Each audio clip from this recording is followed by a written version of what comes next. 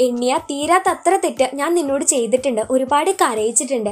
ഇനി എന്റെ പെണ്ണിന്റെ കണ്ണ് ഞാൻ നിറയിപ്പിക്കില്ല നീ എന്റെ പ്രാണനാടി. നിന്നെ ഞാൻ രാജകുമാരി പോലെ വാഴിക്കൂ എന്നൊക്കെ ഫാൻ പറയുമ്പോഴും സയോഗി താല്പര്യമില്ലാത്ത പോലെ നിൽക്കുകയാണ്. ലീയുടെ കാരണം കൊണ്ടാണോ നീ എന്നോട് ഇങ്ങനെ പെരുമാറുന്നതെന്ന് അവൻ ചോദിക്കുന്നുണ്ട്. അല്ല ലീ എന്റെ ബെസ്റ്റ് ഫ്രണ്ട് മാത്രമാണ്. എനിക്ക് സ്നേഹം തോന്നിയിട്ടുള്ളത് അത് നിങ്ങളോടാണ്. പക്ഷെ എന്റെ കൂടെ കൂടി കഴിഞ്ഞാൽ നിങ്ങൾക്ക് എന്തെങ്കിലും പ്രശ്നം വന്നാലോ? നിന്റെ കൂടെ കൂടി കഴിഞ്ഞ് എന്റെ ജീവൻ പോയാലും എനിക്കൊരു കുഴപ്പമില്ല എന്ന് ഫാങ് പറയുന്നു. ലീ ആണെങ്കിൽ ഫുള്ള് ഡിപ്രഷൻ അടിച്ച് പണ്ടാറടങ്ങി ഇരിക്കുമായിരുന്നു കാരണം അവൻ എപ്പോഴും ജയോഗിയുടെ മെമ്മറീസ് വരികയാണ്. അവനാണെങ്കിൽ ഒരുപാട് പിക്ചേഴ്സ് അവളുടെ വരച്ചു വെച്ചിട്ടുണ്ട്. അതൊക്കെ അവൻ കീറിക്കളയുകയാണ്. ഇവിടെ ലീയുടെ അമ്മ ജിയാങ്ങിനെ കാണാനായിട്ട് വന്നിട്ടുണ്ടായിരുന്നു.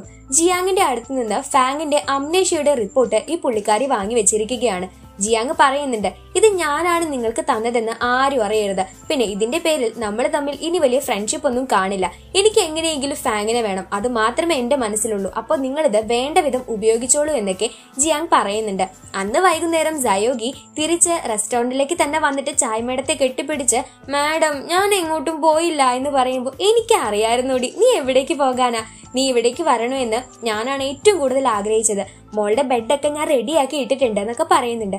പിറ്റേ ദിവസം നമ്മുടെ ഫാങ് സാർ ഉണ്ടല്ലോ. നല്ല അടിപൊളിയായിട്ട് ഗെറ്റപ്പിൽ ഒരുങ്ങുന്നത് കണ്ട അസിസ്റ്റന്റ് നിങ്ങൾ എവിടേക്കാ സാറേ എന്ന് ചോദിക്കുമ്പോൾ വേറെ എവിടേക്കാ? സയോഗ്യ ഡ്രോപ്പ് ചെയ്യാനെന്ന് പറയുന്നു. സയോഗി രാവിലെ തന്നെ ഉറക്കം തൂങ്ങിയിട്ട് കമ്പനിയിലേക്ക് ഇറങ്ങാൻ നിൽക്കുമ്പോഴാണ് ഫാങ് ഓൾറെഡി അവിടെ ഉണ്ടായിരുന്നു എന്നിട്ട് നിന്നെ കൂട്ടിക്കൊണ്ടുവരാനും കൊണ്ടുപോകാനുമുള്ള ആളാണല്ലോ ഞാനെന്നൊക്കെ പറഞ്ഞിട്ട് അവളുടെ അടുത്തേക്ക് വരുന്നു. ഇപ്പൊ നിന്നെ ഞാൻ അവിടെ കൊണ്ട് ചെന്ന് വിടും വൈകുന്നേരം ഞാൻ തന്നെ വിളിച്ചിട്ട് വരാം. എന്നാ നമുക്ക് പോയാലോ എന്നൊക്കെ ചോദിച്ച് റൊമാന്റിക് ആയിട്ട് അവളുടെ അടുത്തേക്ക് പോകുവാണ്. അവിടെ എന്തോ സംഭവിക്കുമെന്ന് നമ്മുടെ ചായ്മേടം വിചാരിച്ചു. പക്ഷെ ഒന്നും നടന്നില്ല. അങ്ങനെ ഇവർ നടന്നിട്ടാ കേട്ടോ പോകുന്നത്. ശരിക്കും നിങ്ങൾക്ക് എന്നോട് റിയൽ ആയിട്ട് ഇഷ്ടം ഉണ്ടായിട്ട് തന്നെയാണോ ഇങ്ങനെയൊക്കെ കാണിച്ചു കൂട്ടുന്നതെന്ന് സയോഗ് ചോദിക്കുമ്പോൾ അതെ എനിക്ക് എന്നോട് ഭയങ്കര ഇഷ്ടമാണെന്ന് പറയുന്നു. എന്നിട്ട് അവളുടെ കൈ പിടിച്ചിട്ട് റോഡ് ക്രോസ് ചെയ്യുകയാണ്. ഇതൊന്നും എനിക്ക് നിന്നോട് ചെയ്തിരുന്ന എന്ന് ഓർമ്മയില്ല. പക്ഷേ എനിക്ക് നിന്നോട് എന്തോ നിന്നെ വിട്ടുപിരിയാൻ എനിക്ക് പറ്റില്ല എന്നൊക്കെ പറയുന്നുണ്ട്. അവൾക്ക് അറിയുന്നുണ്ടായിരുന്നില്ല എന്താ എങ്ങനെയൊക്കെയെന്ന് പിന്നീട് ഓഫീസിലേക്ക് എത്തിയപ്പോഴും അവളുടെ കയ്യിൽ പിടിച്ചുകൊണ്ടാണ് അവൻ കൊണ്ടു ചെന്ന് വിടുന്നത്. ഇവിടെ നിന്നെ ഒരുപാട് ഞാൻ നാണം കെടുത്തിയിട്ടുണ്ട്. അതൊക്കെ തന്നെ ഈ ഒരു ദിവസം കൊണ്ട് ഞാൻ മാറ്റിയെടുക്കും. അതിനു വേണ്ടിയിട്ടാണ് ഞാൻ ഇങ്ങനെയൊക്കെ ചെയ്യുന്നതെന്ന് ഫാങ്സ് അയോഗ്യയോട് പറയുകയാണ്. പക്ഷെ ഓഫീസിൽ ക്യാബിനിൽ പോയിട്ടും ഇവരെ ഒന്നിച്ചു കണ്ടപ്പോൾ ലീക്ക് അത് ഒട്ടും തന്നെ സഹിച്ചില്ല. അതിനുശേഷം ഡയറക്ടറെ കാണാനായിട്ട് സയോഗി വരുന്നുണ്ട്. ലീ പക്ഷെ അവളെ മൈൻഡ് പോലും ചെയ്യുന്നുണ്ടായിരുന്നില്ല. നിനക്ക് എന്താ എന്നോട് ഇത്ര ദേഷ്യം എന്ന് അവൾ ചോദിക്കുമ്പോൾ അത് നിനക്കറിയില്ലേ? ഞാൻ നിന്നോട് ശരിക്കൊരു കാര്യം പറയട്ടെ? എനിക്ക് നീ ഫ്രണ്ടൊക്കെ തന്നെയാണ്. ഇതുവരെ ഞാൻ പറഞ്ഞത് ചിലപ്പോ നീ തമാശയായി കൂട്ടിയിരിക്കാം. പക്ഷെ എനിക്കിപ്പോ നീ എന്റെ ഗേൾ ഫ്രണ്ട് ആവാനാണ് ഇഷ്ടം. ഞാൻ നിന്നെ ഫാങ്ങിനൊക്കെ അടിപൊളിയായിട്ട് നോക്കുന്നില്ലേ? അവന്റെ കൂടെ ഉള്ളതിനേക്കാൾ ഹാപ്പി നീ എന്റെ കൂടെ ആയിരിക്കുമ്പോഴല്ലേ? പിന്നെ നിനക്ക് എന്താ എന്നെ സ്നേഹിച്ചാലെന്ന് അവൻ ചോദിക്കുമ്പോ അത് അങ്ങനെ ചോദിച്ചാ ഞാൻ എന്താ പറയാ? ഫാൻ. അദ്ദേഹം എന്റെ ബോയ് ഫ്രണ്ട് ആണ്. എനിക്കെപ്പോഴും മനസ്സിലും അങ്ങനെ തന്നെയാണ്. പക്ഷെ നീ എന്റെ ഫ്രണ്ടാടാ എനിക്ക് ഒരിക്കലും നിന്നെ അങ്ങനെ കാണാൻ പറ്റില്ല. നീ ആ ഒരു കാര്യം മനസ്സിൽ വിചാരിച്ചിട്ട് എന്നെ ഒരിക്കലും ശ്രദ്ധിക്കാനായിട്ട് വരരുത്. അങ്ങനെയെങ്കിൽ നമ്മൾ ഇനി കാണുകയില്ല എന്നൊക്കെ പറഞ്ഞിട്ട് സയോഗി അവിടെ നിന്ന് ഇറങ്ങി പോകുവാണ്. ഒരിക്കലും നീ എന്നെ ഒരു ഗേൾ ഫ്രണ്ട് ആയിട്ട് കാണാൻ പാടില്ല എന്ന് അവൾ തറപ്പിച്ച് പറയുന്നുണ്ടായിരുന്നു. ഇത് പാകം മൊത്തം പ്രശ്നമായല്ലോ. ഫാങ് സാർ ഒരു വശം ഫാങ്ലി മറ്റൊരു വശം. എന്താ ഞാൻ ചെയ്യാ എന്ന് കുബ്രിയോട് നമ്മുടെ സയോഗി ചോദിക്കുന്നുണ്ട് രണ്ടെണ്ണത്തിനെയും അവോയ്ഡ് ചെയ്യാം. അങ്ങനെയാണെങ്കിൽ ഓക്കെ ആവും എന്ന് അവൾ വിചാരിക്കുന്നുണ്ട്. അങ്ങനെ ഫാമിലിയെ അവോയ്ഡ് ചെയ്യാനായിട്ട് ഓഫീസ് വർക്ക് നോക്കാതെ അവൾ ഫീൽഡ് വർക്ക് നോക്കായിട്ട് ക്ലയന്റിനെ കാണാനായിട്ട് പോവുകയായിരുന്നു കേട്ടോ. വൈകുന്നേരമായപ്പോ ഫാങ്സ് സാറ് നമ്മുടെ സയോഗിയെ പിക്കപ്പ് ചെയ്യാൻ വന്നു. പക്ഷെ എംപ്ലോയീസ് ഒക്കെ പോയി കഴിഞ്ഞിട്ടും സയോഗിയെ കാണുന്നില്ല. അവൾ എവിടെയെന്ന് നോക്കാനായിട്ട് അസിസ്റ്റന്റ് പോകുന്നുണ്ട്. അവസാനം ഈ പുള്ളി അവളെ ഫോണിൽ വിളിച്ചു. ആ അത് സാറേ. സാറ് വരാന്ന് പറഞ്ഞ് ഞാൻ മറന്നുപോയി. ഞാനുണ്ടല്ലോ ക്ലയന്റിനെ കാണാനായിട്ട് പുറത്തോട്ട് വന്നതായിരുന്നു എന്ന് സയോഗി പറയാണ് ഇനിയിപ്പോ എന്തായാലും അവിടെ നിന്നിട്ട് കാര്യമില്ല. സാങ്ങിന് ഇച്ചിരി സങ്കടം ആവുന്നുണ്ട്. ആ സമയത്ത് ലീ അവനെ വിളിക്കുകയാണ്. എനിക്കൊരു കാര്യം പറയാനുണ്ടെന്ന് പറഞ്ഞിട്ട്. ഞാൻ നിങ്ങളോട് കാര്യമായിട്ടൊരു കാര്യം പറയുവാണ്. നിങ്ങൾ സയോഗി ഒരുപാട് കഷ്ടപ്പെടുത്തിയിട്ടുണ്ട്. നിങ്ങൾക്ക് വേണ്ടാതായപ്പോഴാണ് അവളെ ഞാൻ സ്നേഹിച്ചു തുടങ്ങിയത്. ഇതിപ്പോ ഞാൻ ഗേൾഫ്രണ്ട് ആക്കിയപ്പോൾ നിങ്ങൾ പിന്നെയും ഞങ്ങളുടെ ഇടയിൽ കയറി വന്നാലോ? ഞാനൊരു കാര്യം പറഞ്ഞേക്കാം. നമ്മൾ ഇതുവരെ ഒരു കാര്യത്തിന് വഴക്കടിച്ചിട്ടില്ല. പക്ഷെ ഈ കാര്യത്തിന് വഴക്കടിക്കുമെന്ന് പറഞ്ഞിട്ടാണ് ലീ അവിടെ നിന്ന് പോകുന്നത്. ഫാങ്ങിന് ചെറുതായിട്ടൊരു വിഷമം വരുന്നുണ്ടായിരുന്നു. ആ സമയത്ത് ലീയുടെ അമ്മയാണെങ്കിൽ കിട്ടിയ റിപ്പോർട്ട് ഉണ്ടല്ലോ. പുള്ളിക്കാരിയുടെ അനിയന് കൊണ്ടുപോയിട്ട് കൊടുത്തിട്ട് ഇതെന്തായാലും ഞാൻ ഇടപെട്ടു എന്ന് ആരും അറിയരുത്. കാരണം അങ്ങനെ അറിഞ്ഞു കഴിഞ്ഞാൽ എന്റെ ഭർത്താവ് എന്നെ പിന്നെ വെച്ചേക്കില്ല.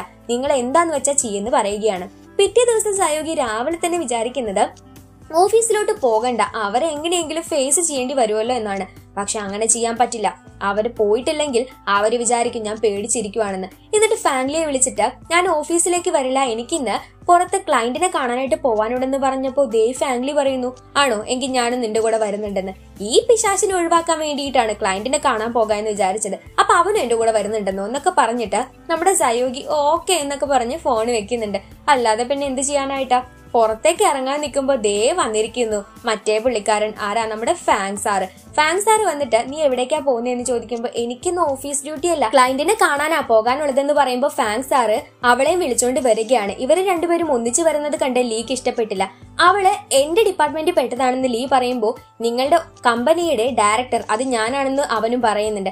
അവസാനം നമ്മുടെ സയോഗി പറഞ്ഞു ഞാൻ അയാളെ ഒന്ന് വിളിച്ചു നോക്കട്ടെ. അങ്ങനെ ഇല്ലാത്ത ക്ലയന്റിനെ ഇവൾ വിളിക്കുവാണ്. എങ്ങനെയെങ്കിലും ഇവറ്റകളെ രണ്ടുപേരെയും ഒന്ന് മാനേജ് ചെയ്യണമല്ലോ. അങ്ങനെ ക്ലയന്റ് വരുന്നത് ടെന്നീസ് കോർട്ടിലേക്കാണെന്നും പറഞ്ഞിട്ട് നമ്മുടെ സയോഗി ഇവറ്റകളെയും കൊണ്ട് പോകുന്നുണ്ട്. ഫാങ്ങിന്റെ അടുത്ത് നമ്മുടെ സയോഗി ഇരിക്കുന്നത് പോലും ലീക്ക് കണ്ണെടുത്താ കണ്ടുകൂടായിരുന്നു. തിരിച്ചും അങ്ങനെ തന്നെയാട്ടോ. അങ്ങനെ ഇവരെ രണ്ടുപേരെയും ഒന്ന് കറക്കാനായിട്ട് നമ്മുടെ സയോഗി പ്ലാൻ ചെയ്യുകയാണ്.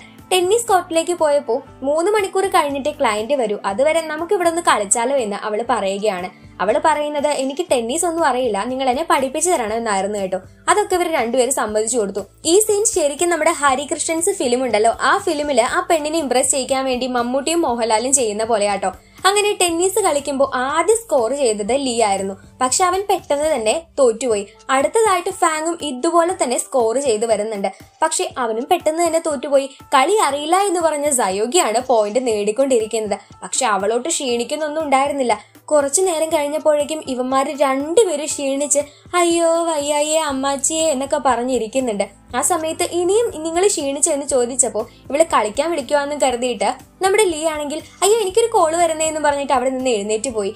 പെട്ടെന്നായിരുന്നു നമ്മുടെ ഫാങ്ങിന് എന്തോ നെഞ്ചുവേദന വന്നത്. നിങ്ങൾക്ക് വയ്യെങ്കിൽ എന്തിനാ പിന്നെ ഞങ്ങളുടെ കൂടെ കളിക്കാൻ വന്നതെന്ന് ചോദിച്ചപ്പോൾ അവന്റെ കൂടെ ഒരു നിമിഷം പോലും എന്തിനു വേണ്ടിയിട്ടും ഞാൻ നിന്നെ വിട്ടുകൊടുക്കില്ല എന്ന് വളരെ പ്രണയാദ്രമായിട്ട് നമ്മുടെ ഫാങ് സയോഗിയോട് പറയുകയാണ്. അവൾ കണ്ണു നിറഞ്ഞ് അവിടെ നോക്കി നിൽക്കുന്നുണ്ട്. അത്തരത്തിലെ ഒരു ക്യൂട്ട് ആയിട്ടുള്ള റൊമാന്റിക് ആയിട്ടുള്ള എന്ന അതിലുപരി ഇമോഷണൽ ആയിട്ടുള്ള സീനോട് കൂടിയിട്ടാണ് ഇന്നത്തെ എപ്പിസോഡ് അവസാനിക്കുന്നത്. വളരെ പെട്ടെന്നായിരുന്നു അല്ലെ ഫാങ്ങിന്റെ ചേഞ്ച് എന്ന് പറയുന്നത്? ഇതിൽ നമുക്ക് ക്യാരക്ടർ ക്രെഡിറ്റ് കൊടുക്കാൻ പറ്റുന്നത് പിന്നെയും ഫാങ്ങിനാണ്. കാരണം അവൻ എത്ര എത്ര അടിപൊളിയായിട്ടാണ് അവളോടുള്ള ഇഷ്ടം ഇങ്ങനെ തുറന്നു പറയുന്നതെന്ന് കണ്ടില്ലേ? നമ്മൾ കഴിഞ്ഞ എപ്പിസോഡിലും ഫാങ്ങിന് തന്നെയായിരുന്നു ഈ ക്യാരക്ടർ ക്രെഡിറ്റ് കൊടുത്തിട്ടുണ്ടായിരുന്നത്. മറ്റൊരു വഴിയില്ല. നോ വേ എന്നൊക്കെ പറയുന്ന പോലെ അത്രയ്ക്ക് സൂപ്പറാണ്. ഓരോരോ എക്സ്പ്രഷൻസും ഡയലോഗ്സും ഒക്കെ കാണുമ്പോൾ നമ്മുടെ രോമം ഇങ്ങനെ എഴുന്നേറ്റ് നിൽക്കും. അങ്ങനെ പൈങ്കിളി ഡയലോഗ്സ് ഒന്നും അല്ലാതെ അല്ലാതെ തന്നെ നല്ല ഇമോഷണൽ ആയിട്ടുള്ള അടിപൊളിയായിട്ടുള്ള ഒരു പഞ്ച് ഡയലോഗ്സ് ആണ് അവന്റെ വായിൽ നിന്നിങ്ങനെ വരുന്നത്. സോ ഇന്നത്തെ വീഡിയോ ഇത്രേ ഉള്ളൂ കേട്ടോ വീഡിയോ ഇഷ്ടപ്പെട്ടിട്ടുണ്ടെങ്കിൽ ലൈക്ക് ചെയ്യുക ചാനൽ സബ്സ്ക്രൈബ് ചെയ്യാതെയോ ആദ്യമായിട്ട് നമ്മുടെ ചാനൽ കാണുന്നതുമായിട്ടുള്ള കൂട്ടുകാരുണ്ടെങ്കിൽ എന്തായാലും ചാനൽ ഒന്ന് സബ്സ്ക്രൈബ് ചെയ്യാം കേട്ടോ അതുപോലെ തന്നെ തൊട്ടടുത്ത് കാണുന്ന ബെല്ലൈക്കൺ കൂടി എനബിൾ ചെയ്തിടാനായിട്ട് മറക്കരുത്. സോ വീഡിയോയെ കുറിച്ചുള്ള അഭിപ്രായങ്ങളും നിങ്ങളുടെ നിർദ്ദേശങ്ങളും എല്ലാം തന്നെ കമന്റ്സിലൂടെ പറയാവുന്നതാണ്. നമ്മൾ പറയുന്ന കാര്യങ്ങളിൽ എങ്ങനെയെങ്കിലും മാറ്റങ്ങൾ വരുത്തണോ കാര്യങ്ങളൊക്കെ തന്നെ കമന്റിൽ നിങ്ങൾക്ക് മെൻഷൻ ചെയ്യാം കേട്ടോ അടുത്ത എപ്പിസോഡിനായിട്ട് ഈ ഗേളിൽ വെയിറ്റ് ചെയ്തിരിക്കും. സോ അടുത്ത എപ്പിസോഡുമായിട്ട് കാണാം. ബൈ